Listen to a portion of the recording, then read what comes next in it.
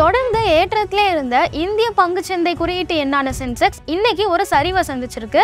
காலையில பதினோரு மணி நிலவரப்படி நம்ம பார்க்கும்போது பாம்பே ஸ்டாக் எக்ஸ்சேஞ்சோட வேல்யூ ரெண்டாயிரத்தி அறநூறு புள்ளிகள் வரைக்கும் குறைஞ்சிருக்கு. இதுவே என்எஸ்சியோட வேல்யூ எடுத்துக்கிட்டோம் அப்படின்னா அது எழுநூறு புள்ளிகள் வரைக்கும் குறைஞ்சிருக்கு. இந்த ஒரு சரிவுனால நமக்கு பிஎஸ்சியில் லிஸ்டான கம்பெனிஸ் அப்படின்னு பார்க்கும்போது அந்த கம்பெனிகள்லாம் ஒம்பது புள்ளி ஐம்பத்தோரு லட்சம் கோடி அளவுக்கு இழப்பு சந்திச்சிருக்காங்க அப்படின்னு சொல்கிறாங்க பிஎஸ்சியில் முதலீடு செஞ்ச முதலீட்டாளர்களுக்கு இந்த இழப்பு ஏற்பட்டிருக்கு.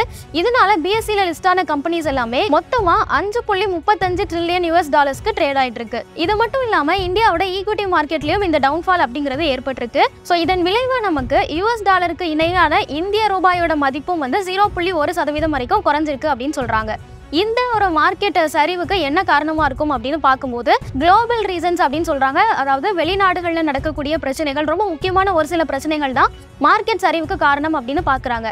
ஏன்னா இந்தியாவில் மட்டும் இந்த சரிவு அப்படிங்கிறது ஏற்படலை. யூரோப்பியன் மார்க்கெட்லயும் இந்த சரிவு அப்படிங்கிறது நடந்திருக்கு. இது மட்டும் இல்லாம ஜப்பான்லயும் இந்த மார்க்கெட் கிராஷ் அப்படிங்கிறது நடந்திருக்கு. நிறைய ஏஷியன் கண்ட்ரீஸ்லயும் இது நடந்திருக்கு அப்படின்னு சொல்றாங்க. ஸோ இதுக்கு முக்கியமான காரணங்கள் என்னென்னு பார்க்கும்போது முதல்ல ஜப்பான்ல பேங்க் ஆஃப் ஜப்பான் அவங்களோட இன்ட்ரெஸ்ட் ரேட்டை குறைச்சிருக்காங்க. எவ்வளவு வரைக்கும் குறைச்சிருக்காங்கன்னு பார்க்கும்போது zero point two five percentage வந்து அவங்களோட இன்ட்ரெஸ்ட் ரேட்டை குறைச்சிருக்காங்க. இந்த ஒரு இன்ட்ரெஸ்ட் ரேட் குறைப்பு அப்படிங்கிறது எல்லா மார்க்கெட்லயும் உலக அளவில் ஒரு அதிர்வலையை ஏற்படுத்திருக்குன்னே சொல்லலாம். குறிப்பாக ஜப்பான் மார்க்கெட்டில் பார்க்கும்போது அது பெரிய அளவில் மார்க்கெட் கிராஷை ஏற்படுத்தியிருக்கு. ஸோ அதோட ஒரு தாக்கம் தான் மற்ற கண்ட்ரீஸ்லையும் யூரோப்பியன் கண்ட்ரியாக இருக்கட்டும் இல்லை இந்தியாவோட ஷேர் மார்க்கெட்டாக இருக்கட்டும் எல்லாத்துலேயுமே எதிரொலிக்குது அப்படின்னும் சொல்கிறாங்க இன்னொரு முக்கியமான காரணம் என்னவா இருக்கும் அப்படின்னு பார்க்கும்போது யூஎஸில் இருக்கக்கூடிய அன்எம்ப்ளாய்மெண்ட் கடந்த ஜூலை மாதம் வரைக்கும் நம்ம பார்க்கும்போது யூஎஸில் அன்எம்ப்ளாய்மெண்ட் அப்படிங்கிறது ரொம்ப பெரிய பிரச்சனையாக இருந்துட்டு இருக்கு.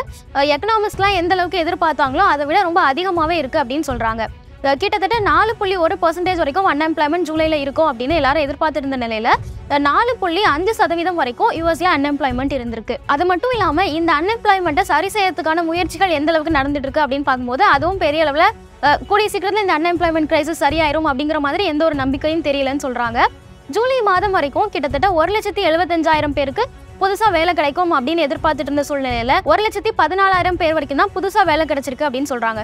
ஸோ இந்த அன்எம்ப்ளாய்மெண்ட் கிரைசஸ் இருந்துட்டே இருக்கிறதுனாலையும் ஷேர் மார்க்கெட்ஸ்ல இன்டர்நேஷனல் லெவல்ல ஷேர் மார்க்கெட்ஸ்ல பெரிய பாதிப்பு ஏற்படுத்துது அப்படிங்கிறதையும் ஒரு காரணமா சொல்றாங்க. இன்னொரு முக்கியமான காரணம் இந்த மார்க்கெட் கிராஷ் உலக லெவலில் நடக்கிறதுக்கு என்ன காரணம் அப்படின்னா சமீபத்தில் நடந்த ஹமாஸோட தலைவர் இஸ்மாயில் ஹனியா அவர்களோட படுகொலை அப்படிங்கிறது மார்க்கெட்ல பெரிய தாக்கத்தை ஏற்படுத்தியிருக்கு. ஏன் அப்படின்னா இந்த ஒரு படுகொலைனால திரும்பவும் இஸ்ரேலுக்கும் ஈரானுக்கும் நடுவில் ஒரு போர் மூழ்கிறதுக்கான வாய்ப்புகள் அதிகமாக இருக்கு. ஒருவேளை அப்படி ஒரு போர் மூழ்ந்துச்சு அப்படின்னா அது பெரிய அளவில் மற்ற நாடுகளையும் பாதிக்கும் அப்படின்னு எல்லாரும் எதிர்பார்க்கறதுனால இந்த ஷேர் மார்க்கெட்டில் இப்படி ஒரு கிராஷ் வந்திருக்கு அப்படிங்கிறதையும் எக்ஸ்பர்ட்ஸ் எல்லாம் சொல்கிறாங்க ஸோ இதெல்லாம் தான் முக்கியமான குளோபல் ரீசன்ஸாக பார்க்கப்படுது. இது மட்டும் இல்லாமல் உலக அளவில் பல நாடுகளில் நடக்கிற பொருளாதார நெருக்கடியும் இதுக்கு ஒரு முக்கியமான காரணமாக இருக்கும் அப்படின்னு சொல்லப்படுது. ஸோ இன்றைக்கி ஸ்டாக் மார்க்கெட்டில் இந்த ஒரு டவுன்ஃபால் ஏற்பட்டிருக்கு. இது எப்படி கேரி ஆக போகுது? என்னென்ன மாதிரியான ஸ்டாக்ஸ்லாம் வந்து அதிக அளவில் லாஸில் ஏற்பட்டிருக்கு இன்றைக்கி அப்படின்னு நம்ம பார்க்கும்போது டாடா மோட்டார்ஸ் வந்து ஃபைவ் பாயிண்ட் ஃபைவ் பர்சன்டேஜ் வரைக்கும் லாஸ் ஆயிருக்கு. அதே மாதிரி டாடா ஸ்டீல்லையும் லாஸ் ஏற்பட்டிருக்கு.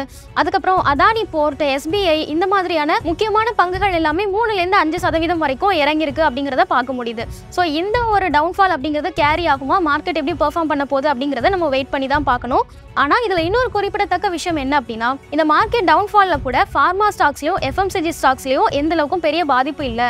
அது எப்பயும் போல தான் பெர்ஃபார்ம் பண்ணிட்டு இருக்கு அப்படிங்கிறதையும் எக்ஸ்பர்ட் சொல்கிறாங்க மேலும் ஈடி தமிழ் சேனல்ல வரப்போகும் பிசினஸ் மற்றும் அது ரிலேட்டடான வீடியோவை பார்க்க உடனே கீழே இருக்க சப்ஸ்கிரைப் பட்டனை கிளிக் பண்ணுங்க.